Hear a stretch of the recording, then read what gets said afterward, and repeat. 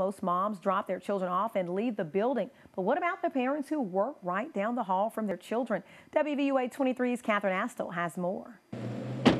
The first day of school is always special to Cynthia Huff.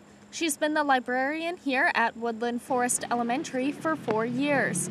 But today is something new and exciting. I'm very excited. This is my first year coming with my son.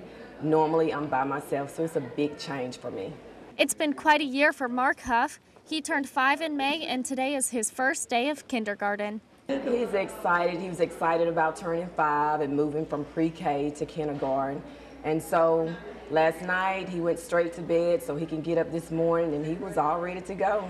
One of the best things about the first day of school is using your brand new backpack for the first time. Mark chose Ninja Turtles for his. After the long walk down the hallway, it's time for the handoff from mom to Mark's kindergarten teacher, Katherine Shelton. Are you ready? Me too. Me too, friend. As I was growing up, I had a love for books. I read all the time. And um, being around kids, it makes me happy. And I love to influence other kids to do the same thing when it comes to reading. Mark Huff will always remember his first day of school, his first teacher, and how it all seemed a little scary at first. But that first day of school for any child is always exciting, always a fresh start to learning. I'm Catherine Astle, WVUA 23 News.